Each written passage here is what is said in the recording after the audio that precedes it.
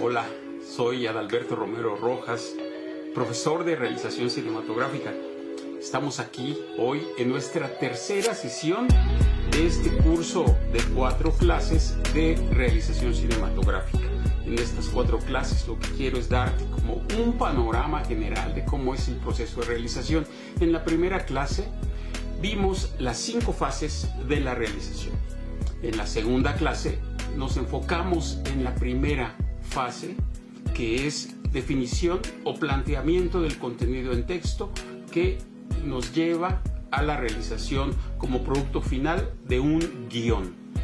En esta clase vamos a ver la segunda y la tercera fases de la realización cinematográfica. La segunda fase es la preproducción. Le podemos llamar de manera genérica planeación. Y la tercera fase es el rodaje o producción de la película. Nos falta la próxima, última clase en la que veremos lo que es los procesos de postproducción y eh, la manera como se distribuye y se exhibe un cortometraje comunitario, que es a lo que nosotros nos enfocamos al cine comunitario. Vamos a hablar hoy de lo que es la preproducción. El primer paso de la preproducción es el breakdown ¿Qué es esto que es breakdown? Breakdown es el desglose de los elementos. Lo podríamos traducir sencillamente como desglose. Lo que vamos a hacer en nuestro breakdown es definir cada uno de los elementos que tiene la película y aglutinarlos en diferentes rubros. ¿Qué es un elemento de un guion cinematográfico, de una película? Un elemento puede ser una persona, animal, cosa, lugar o proceso. Cada uno de estos es un elemento. Un actor es un elemento, un extra es un elemento, un vestuario, un disfraz es un elemento, un perro, un caballo es un elemento, un efecto especial, un proceso de efecto especial que se realiza durante el rodaje es un elemento. Cada uno de todos estos elementos son los que voy a analizar en mi guion y los voy a aglutinar en su rubro. En el rubro de casting o reparto aglutinaré cada uno de los personajes de mi guion para tener un recuento de todos los personajes que van a participar en mi película. Lo mismo haré con el rubro de las locaciones. ¿En qué lugares sucede mi película? Voy a eh, listando cada uno de los lugares para tener ese recuento y tener claridad acerca de la complejidad o sencillez que puede tener mi película. Vamos a utilizar el guion que realizamos la semana pasada. Recordarás que eh, nuestra historia tenía tres escenas. Puedes eh, ver el programa de la semana pasada, está aquí en YouTube y en Facebook para que puedas checar cómo era el guion. Aquí, que, aquí lo vamos a estar usando. Y es, eh, decíamos que estas tres escenas ocurre. La primera en la casa, cuando está Juan con su mamá. En la segunda está Juan en la calle, luchando consigo mismo por gastarse el dinero porque venía muy enojado o hacer lo que su mamá le mandó, quería comprar las tortillas. Y la tercera escena es cuando ya regresa Juan. Es importante decir, abro un paréntesis aquí del guion, no hay una escena donde Juan compre las tortillas. ¿Por qué? No es necesario verlo. No es indispensable para nuestra historia. En la primera escena hay un altercado, un pequeño conflicto entre Juan y su mamá, pero de inmediatamente, de inmediato se resuelve. Y su mamá lo es la vencedora de estas dos fuerzas en oposición y Juan tiene que hacer lo que dice la mamá. La segunda, el conflicto verdadero de la película. El fuerte es Juan luchando consigo mismo por gastarse el dinero de las tortillas. Finalmente va por las tortillas, decide hacer lo que, lo que le mandó su mamá y la tercera escena, pues es ya cuando Juan llega con las tortillas. Pero no hay escena en las que las compré, no hace falta ver cuando Juan llega a la casa con las tortillas, sabemos que las compró. Cuando él se echa a correr afuera de las maquinitas, sabemos que ya hay un vencedor de, de esas dos fuerzas internas que luchan en él. Entonces, haciendo el recuento, tenemos dos locaciones. La eh, primera y la tercera escena ocurren en la casa, en la sala de la casa. La segunda escena ocurre en la calle. Tenemos, ocurre en la calle, no en cualquier calle, tiene que ser afuera de un local de maquinitas. Ok, entonces ya tenemos nuestras dos locaciones, tenemos que buscarlas, tenemos que ver si alguien de nuestra familia, algún amigo, nos puede prestar una casa para grabar. Entonces ya tenemos las locaciones. Los actores, pues necesitamos la mamá de Juan, Juan, y necesitamos varios extras jugando dentro del local de maquinitas. No sé cuántos pueden ser, tal vez tres, tal vez cuatro. Eh, puede ser uno, dos incluso. Necesitamos, eso dependerá también del, local. Entonces, eh, vamos haciendo el recuento de lo que necesitamos. Vestuarios, es un vestuario, todo ocurre en un transcurso de tiempo muy limitado, no hay cambio de días, no necesitamos más vestuarios. Eh, ¿Qué más necesitamos? Ah, utilería. Utilería, que es el, el juego, la televisión y el juego de, de video que tiene Juan que está utilizando. Entonces, son los elementos básicos. En este caso, en este cortometraje es muy sencillo. Otros guiones tienen muchísimo eh, más personajes, más extras, más ocasiones. Y entonces es muy importante tener claridad de todo lo que vamos a, a ocupar, de todos los elementos de la película. Te voy a dar una lista de lo que son los rubros en los que se aglutinan todos nuestros elementos. Tenemos el elenco, que también se puede llamar personajes, cast, talento o reparto. Todas estas palabras son sinónimos y habla de los personajes principales.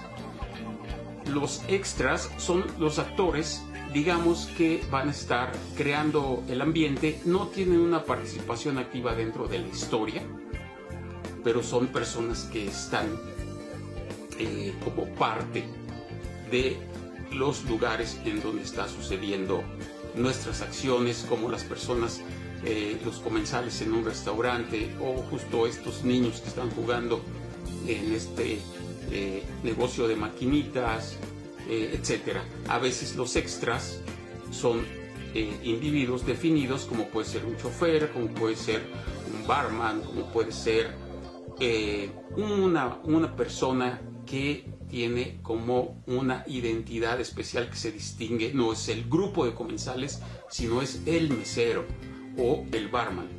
Eh, después tenemos lo que son los props o la utilería o accesorios. Igual estas tres palabras son sinónimos y son todos los objetos que los actores utilizan a lo largo de la película.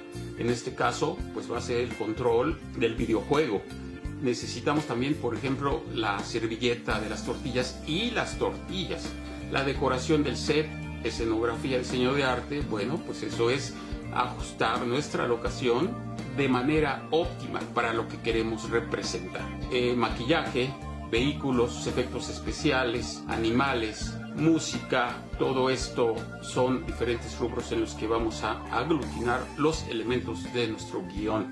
Una vez que tenemos eh, nuestro breakdown, pues vamos a proceder a conseguir todos esos elementos, a pedirlos prestados, habrá cosas que tengamos que comprar, entonces vamos a tener que hacer un presupuesto, vamos a tener que ir a visitar los lugares para checar si funcionan para nuestras escenas, vamos a hacer un casting, vamos a conocer a los actores, vamos a invitar personas que quieran participar con nosotros y vamos a seleccionar las personas que son ideales para nuestra historia. Y una vez que tengamos resuelto todos los elementos de nuestro breakdown, pues vamos a proceder a hacer un calendario de rodaje. Nuestro calendario de rodaje hay que tomar en cuenta la disponibilidad de los actores, de los extras, de las locaciones y de nuestro crew también. Y vamos a definir los tiempos de rodaje. En este caso tenemos nuestras tres escenas. Vamos a rodar la primera y la tercera escena juntas.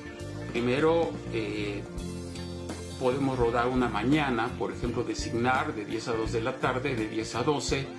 Grabamos nuestra primera escena de 12 a 2, la tercera escena, hacemos una pausa para comida y por la tarde hacemos la escena de la calle para definir nuestro rodaje en un solo día y optimizando. No tenemos que rodar eh, de manera eh, eh, como viene en el guion, sino vamos a optimizar. Vamos a ver qué, nos conviene para economizar traslados y poder hacer las cosas de manera más rápida y eficiente. Una cosa importante es ensayar.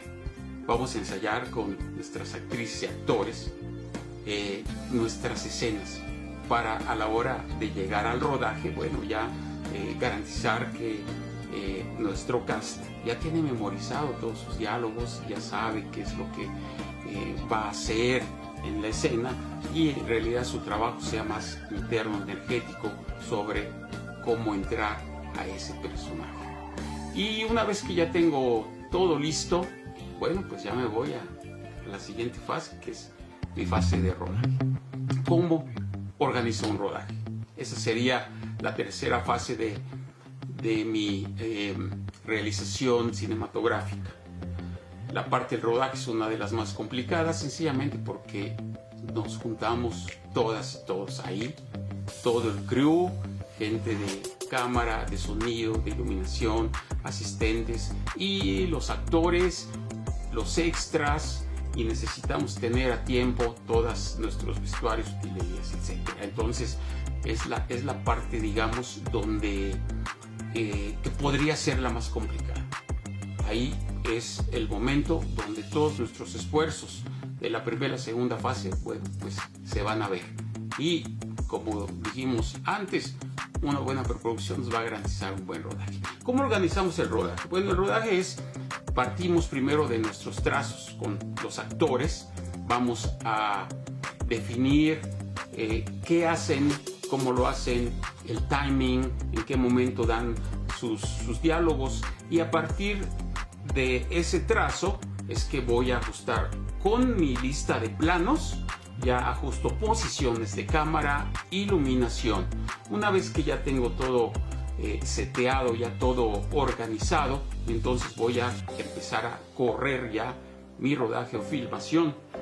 Primero eh, tengo que poner eh, a todos, a todas y a todos, crew, actrices y actores en su posición de inicio. Vamos a definir cuál es la posición de inicio, donde este plano va a iniciar y en qué actitud tienen que iniciar. Entonces llamo a posición inicial pido silencio para que todos estén enterados que estamos a punto de, rodar eh, nuestro plano.